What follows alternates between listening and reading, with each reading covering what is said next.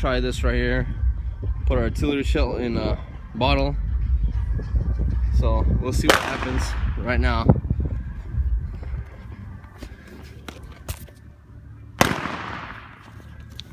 All right, remember the torch I was talking about? Yep, I got that.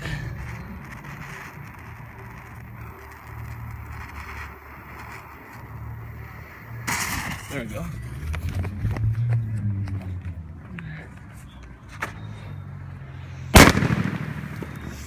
Yep.